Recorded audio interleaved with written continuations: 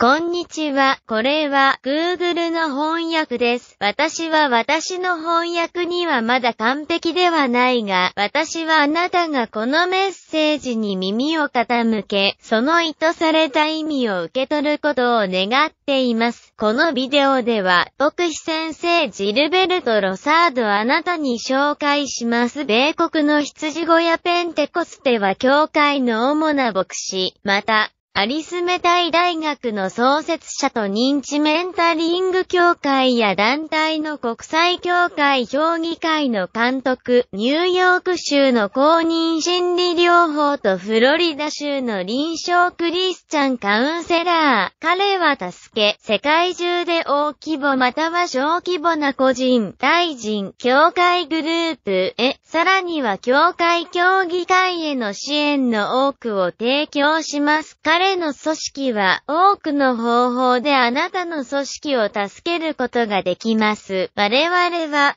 大臣や閣僚になりたい人を探しています。私たちは地域社会グループや指導者との提携を模索しています。我々は世界地元の教会や学校とのパートナーシップを形成するために探しています。我々は偉大であなたのコミュニティに達するのを助けることができ、閣僚サポート、クーミニティプログラム、教育プログラム、ラム、資金援助、雇用、起業家のリソースとはるかに役立ちます。あなたやあなたが知っている誰かがコミュニティ、あなたの同胞を助けることに関心がある場合、我々はできるだけ早くご連絡し、この発表に他人を支持することを強くお勧めします。私たちは私たちの仲間の男を助けるために協力することから始めましょう。私たちの努力が教会のグル